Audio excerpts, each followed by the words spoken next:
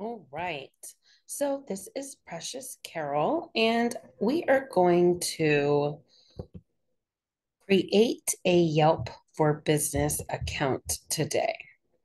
So I've just come and Googled Yelp for Business, and I want to claim my business on Yelp. I don't have an account, so I'm going to click right here.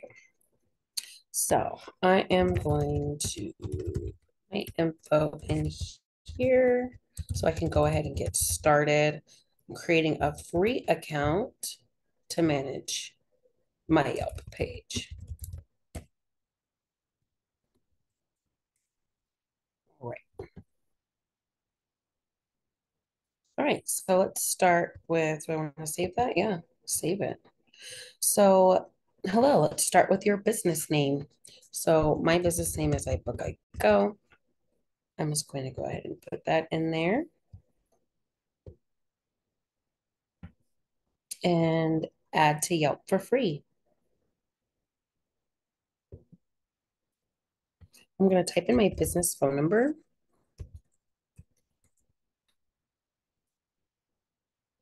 And I want them to text me a link to download the mobile app. So I'll select that and click continue. I'm going to then enter my website. Let's go up to the top so we can make sure we have the full page. What kind of business are you in? Travel services, travel agent. To help customers find your product and service, you can add up to three categories that best describe what iBookiGo's core business is. You can always edit and add more later. So I want it to be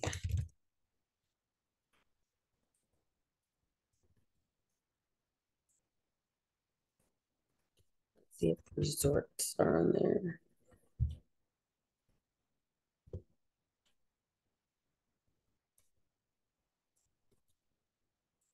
Let's see. Um, honeymoon? No. Wedding? Don't want to be a wedding planner though, so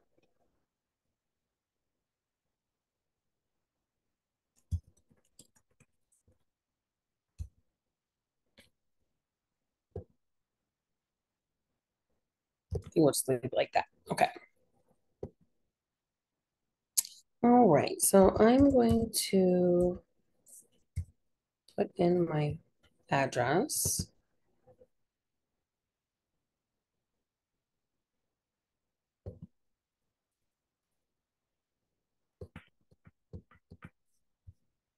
Continue.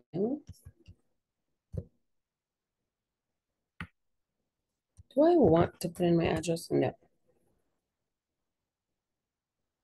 All right, so for my main street address, since that's optional, I'm going to leave that blank and I'm only going to put in the city, state, and zip code.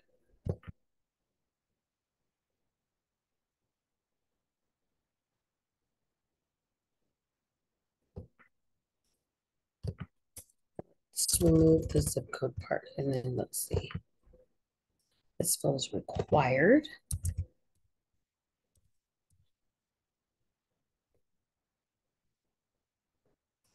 All right, so maybe I'll put Choco.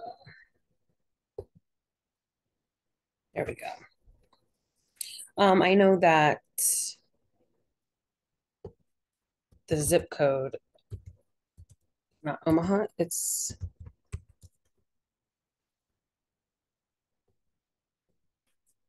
get started by telling us how customers can reach you. So I'm gonna put my business name. Omaha, Nebraska. It's, it's looking red. Why is it looking red? Let's scroll down a little bit.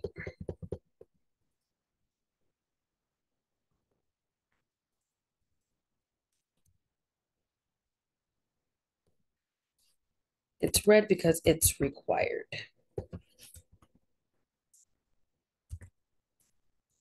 Put them right there. I've got my business categories going. That is not my address. Doot, doot, doot, okay. I'm going to click continue.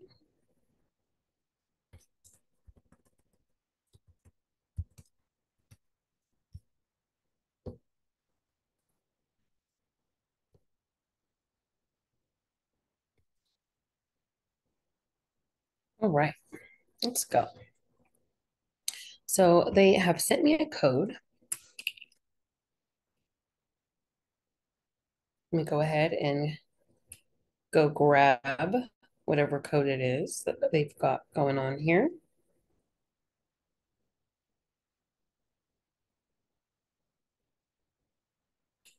All right.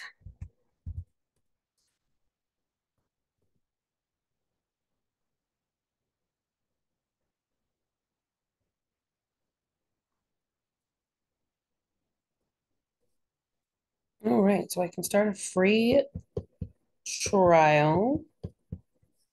I'm going to decline this offer.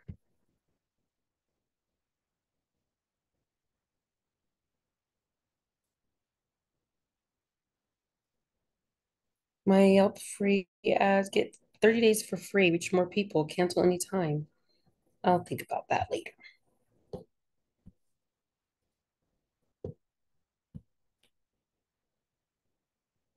Maybe I should do it. But I'll look into that later.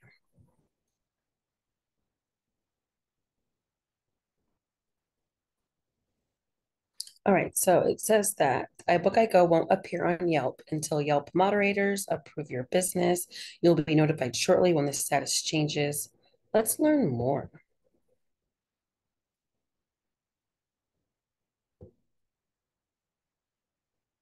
All right, so when you add a business to Yelp, it has to be evaluated by our by our moderators before it appears in search results. If you have added a business recently, but you can't find it in search, it's likely that it still has yet to be evaluated. Please don't submit the same business multiple times. This process may take a while depending on our ability to independently verify any submissions. And we will sometimes reject a submission if we're unable to independently confirm the business or if the business isn't eligible for Yelp. So let's go click on that. So what kind of businesses are eligible for Yelp?